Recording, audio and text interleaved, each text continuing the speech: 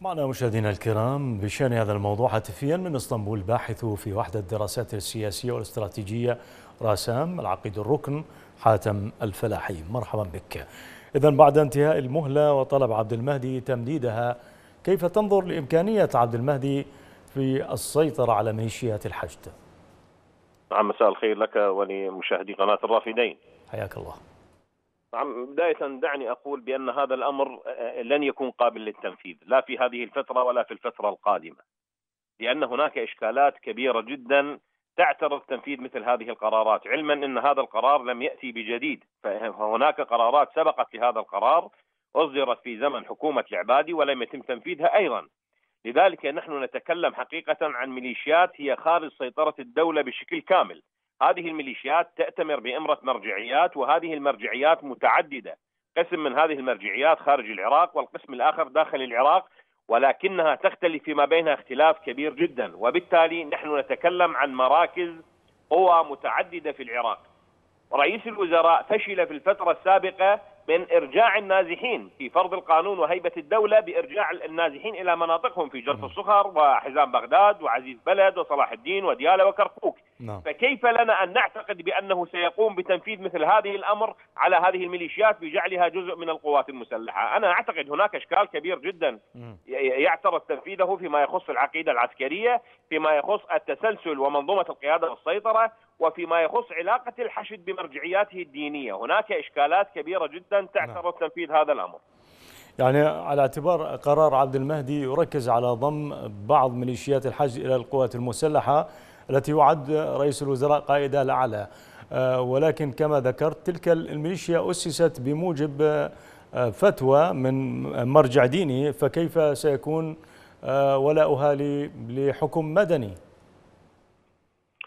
نعم أكيد. نحن نحن عندما نتكلم الآن نتكلم عن القوات المسلحة مثلا. القوات المسلحة والعقيدة العسكرية. اذا نتكلم عن مجموعة من القيم والمبادئ الفكرية التي تهدف إلى إرساء نظريات العلم العسكري وعلوم فن الحرب. وبعد ذلك تحدد القوات المسلحة واجباتها واستخداماتها في زمن الحرب والسلم بمحقق الأهداف والمصالح الوطنية العليا. ولكننا نحن نتكلم الآن عن عقيدة عسكرية للحشد الشعبي عقيدة طائفية بنيت حسب فتوى للجهاد الكفائي يعني فتوى طائفية لمذهب معين ولجهات معينة. استغلت من قبل المالكي ومن قبل كثير من قادة الميليشيات لتشكيل ميليشيات خارج إطار الدولة وخارج إطار الدستور في مخالفة واضحة للمادة التاسعة من الدستور العراقي. طيب، وقوفا يعني آه، على هذه العقيدة القتالية لتلك الميليشيات المتنوعة المنضوية في آه، ما يسمى هيئة الحشد. آه، أعلنت هذه الميليشيات رفضها تنفيذ قرار عبد المهدي معللة ذلك بأن الأخير يأخذ أوامره من الخارج.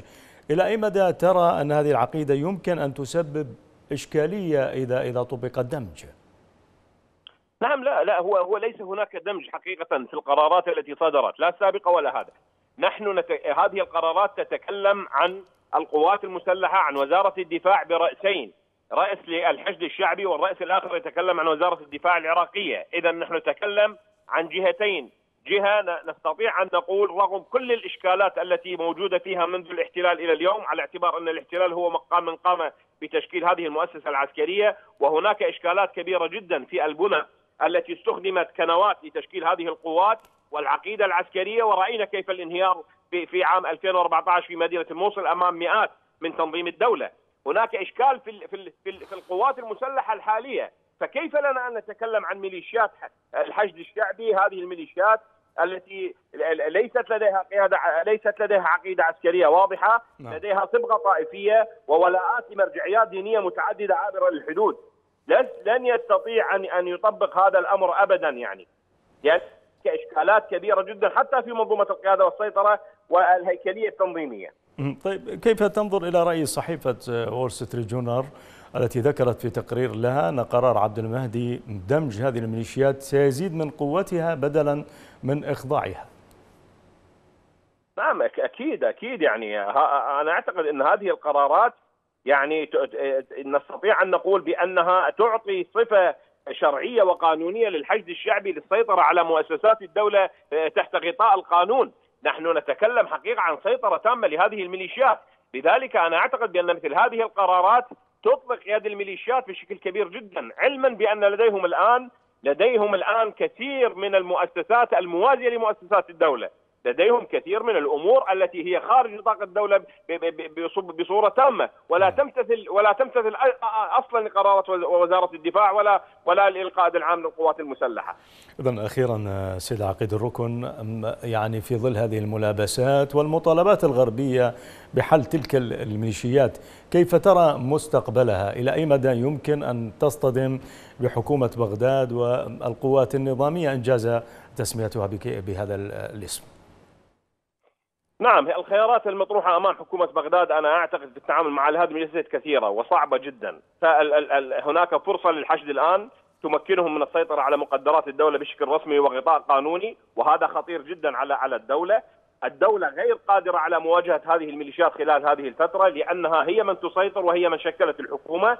وبالتالي أنا أعتقد بأنه إذا ما كان هناك تصعيد خطير ما بين الولايات المتحدة وإيران في الفترة المقبلة كثير من هذه الميليشيات أعلنت موقفها بأنها ستقف إلى جانب إيران، اذا نحن قد نتحول إلى إلى إلى الحوثي الثاني في العراق.